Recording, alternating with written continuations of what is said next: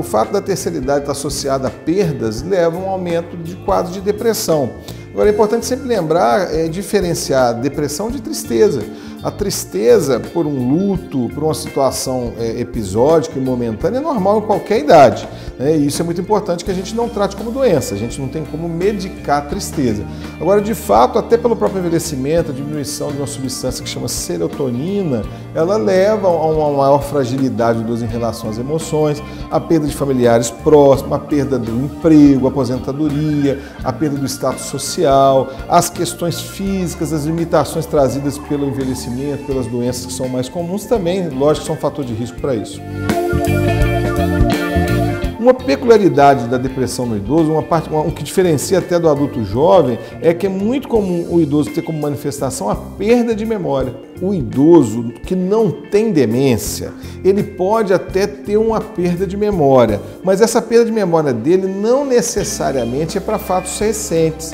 Tá? É, é uma perda de memória leve, que não atrapalha a sua vida. Esse é o grande ponto. Ele esquece, às vezes, o que comeu no almoço, esquece de dar um recado de alguém ligou em casa, mas ele não vai esquecer, é, por exemplo, da importância de se fazer o uso de uma medicação, ele não vai esquecer o endereço da sua casa, ele continua conseguindo mexer com conta bancária, ele consegue tomar banho e fazer sua higiene sozinho.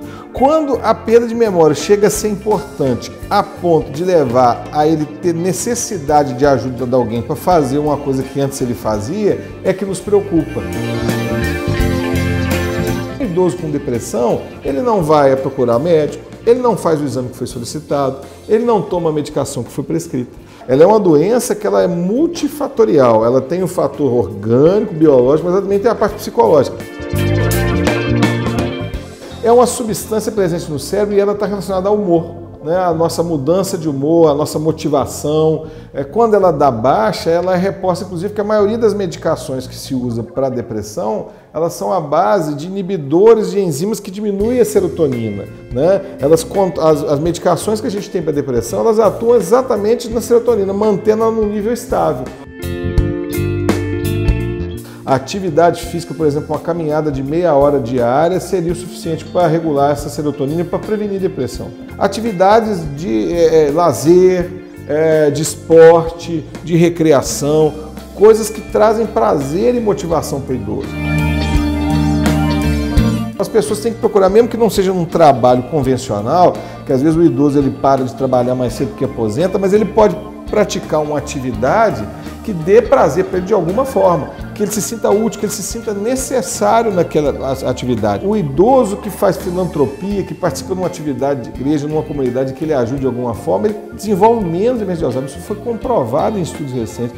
E aí você vê por quê. Ele, naquele momento em que ele está numa fase que ele aposentou, financeiramente ele não é uma pessoa é, é, é, como era antes, ele não é respeitado pela comunidade porque ele não representa um, um ponto de poder, ele naquela atividade ele se sente insubstituível. Se eu não for lá amanhã, aquela pessoa que eu faço aquele cuidado, que eu dou banho, que eu corto uma unha, que eu forneço alimentação, ela, ela, ela vai depender de mim, ela, não, ela vai perder a qualidade de vida.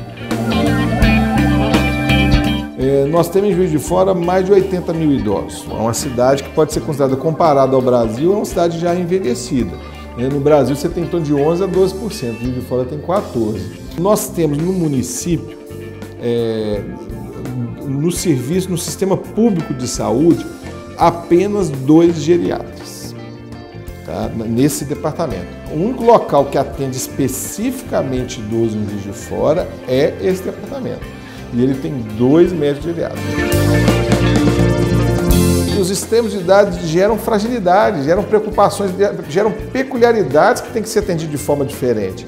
Né? Por que, que se tem essa tensão com a criança e não tem a mesma visão com o idoso? Se são extremos de idade que requerem fragilidade, todo mundo sabe disso existem peculiaridades no envelhecimento. Eu não posso fazer, por exemplo, na minha área médica, o mesmo diagnóstico que eu faço no, idoso, no adulto de 40 anos, numa mesma doença, no idoso vai manifestar diferente. Né?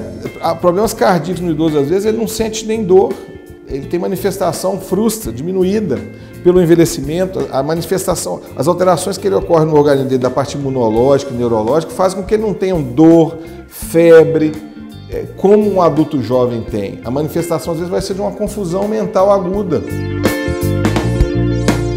Culturalmente, Juiz de Fora não é diferente. Né? O idoso é tratado de forma preconceituosa por uma questão cultural. Né? É, é menos é importante ser idoso, é, é, é carregar de uma série de questões negativas. Mas eu acho que em termos de sistema público, tanto de saúde como de assistência, se comparado à média no Brasil, nós estamos acima da média. Nós temos hoje um departamento de atendimento específico ao idoso na saúde, nós temos a CISP, que é feita uma avaliação multifatorial do idoso, né? nós temos dentro da Câmara uma, uma, uma, comissão que olha com um olhar diferente a questão do idoso, isso já é um progresso e essa comissão já tem feito, já tem apontado para feridas que são importantes ser levantadas. É lógico que o problema que está aí há 40, 50 anos não vai resolver em dois anos. Né? Mas esse é um primeiro passo e eu acho que é um ponto à frente que o Juiz de Fora está em relação às outras cidades.